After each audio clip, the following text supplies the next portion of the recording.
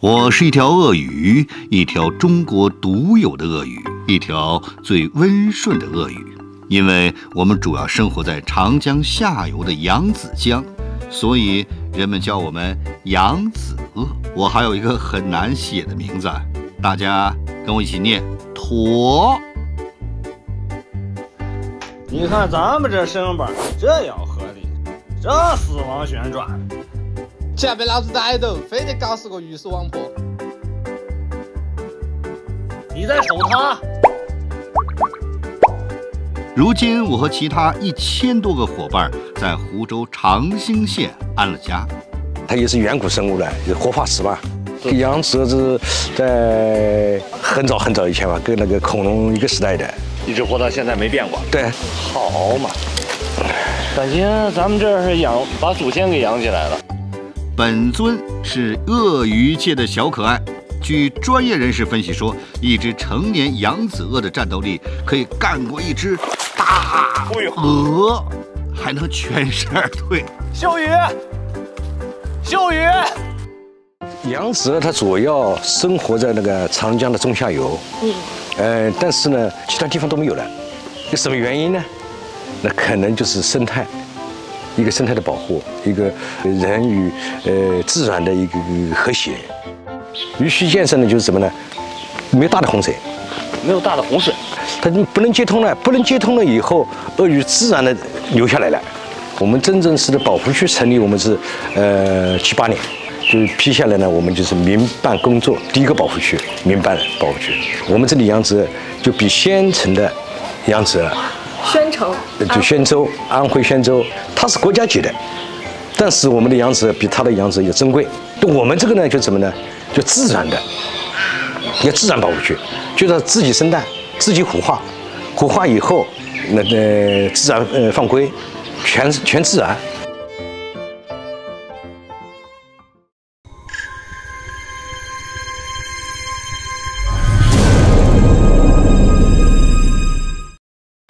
喂，醒醒，上班了。那坐下。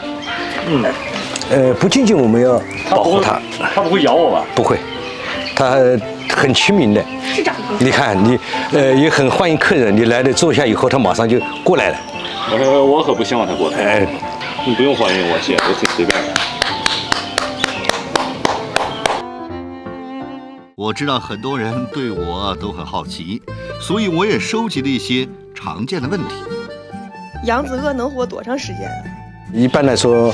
呃，扬子鳄的成熟期就八到十岁，那最迟到十二岁。扬子鳄的成活的时间呢，可能就是六十年到八十年。活这么久？对，这和人几乎相差不多的。扬子鳄是不是也有三宫六院，还是一夫一妻呢？其实它很丑陋啊。嗯。哎，哎，呃，孔雀都有了。你们真不拦着我呀？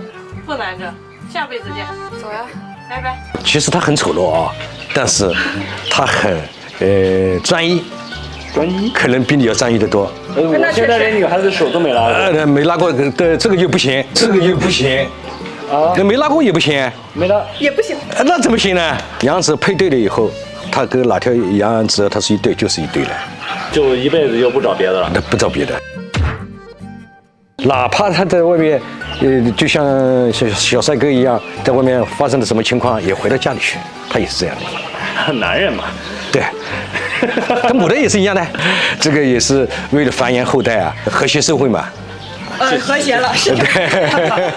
鳄鱼皮的包包卖的可贵了，是不是养鳄鱼也特赚钱？像我孙子他都知道，哎呦，那里有羊子，我们要保护它的。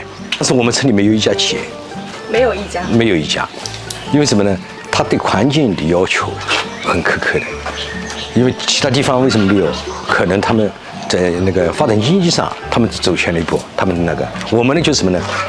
没有，几乎是呃，在这是产生经济效益的这一点没有。那时候我们的先辈们就是没任何回报，而且默默的付出，为了什么？为了保护养殖。那我们现在把它送出去，不保护它了，我们搞发展。嗯。对得住先人吗？嗯，对得起他们吗？